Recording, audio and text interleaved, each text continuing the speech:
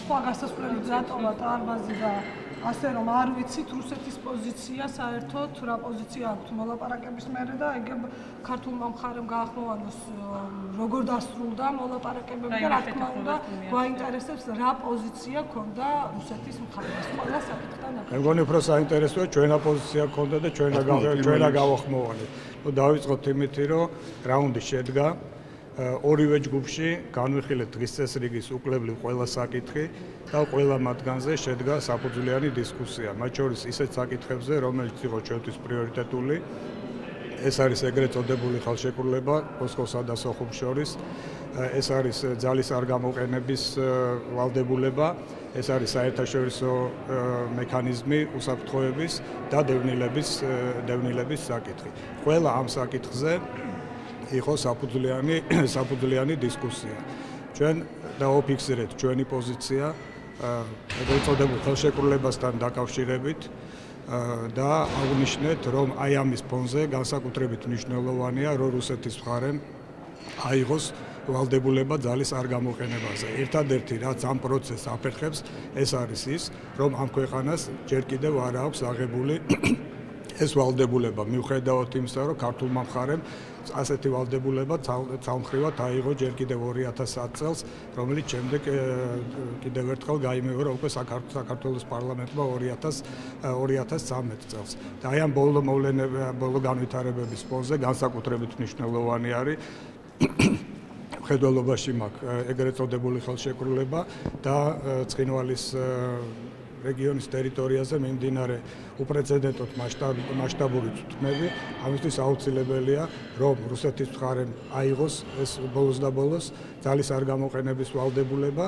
და ამასთან ასევე მნიშვნელოვანია, რომ იყოს ადგილზე არსებობდეს მექანიზმი საერთაშორისო მექანიზმები უსაფრთხოების რომლებიც გააკონტროლებენ ამ ვალდებულებას. ბატონო და ორი დღეა ამას ვლაპარაკობთ. რას ვითხოვთ ჩვენ, მაგრამ ყველასთვის რა თქმა უნდა საინტერესოა რა პასუხი გაგცათ ამაზე რუსეთის მხარემ და ასევე თანათავმჯდომარეებმა. ანუ მხოლოდ დაფიქსირდა ჩვენი პოზიცია თუ რაღაც მათაც დააფიქსირეს პოზიცია და რა პოზიცია დააფიქსირეს თუ დააფიქსირეს? ჩვენ არა მარტო დავაფიქსირეთ ჩვენი პოზიცია, არამედ მოვთხოვეთ თანათავმჯდომარეებს, რათა მათი აქტივობა იყოს უფრო ქმედითი იმისათვის, რომ დაჩქარდეს აი ამ საერთაშორისო უსაფრთხოების მექანიზმების ამუშავება და ხელი მოეწეროს ამ ბოლოს და ბოლოს ამ ძალის არ გამოყენების ვალდებულებას რუსეთის მხრიდან.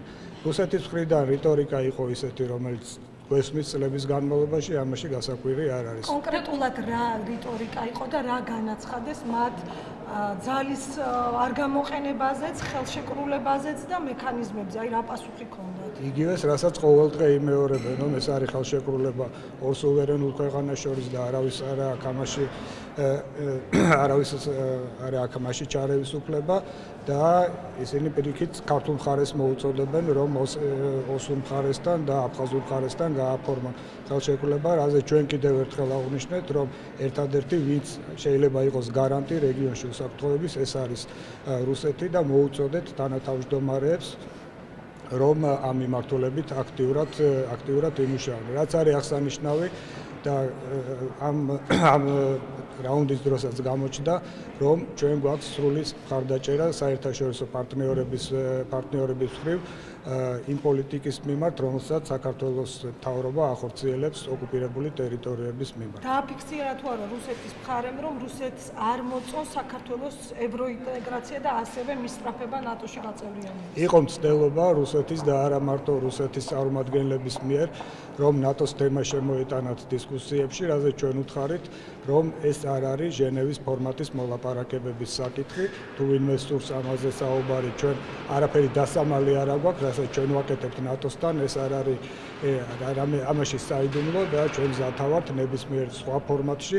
ამაზე ვისაუბროთ, მაგრამ ჟენევის ფორმატი არის იმისთვის, რომ განვიხილოთ ის საკითხები, რომლებიც აქტუალურია 2008 წლის ომის შემდეგ და რომლებიც გამომდინარეობს ეგრეთ წოდებული ექსპორტიანის ცეცხლის შეწყვეტის ხელშეკრულებიდან. და ნატოსთან ამას არავითარი კავშირი არ აქვს.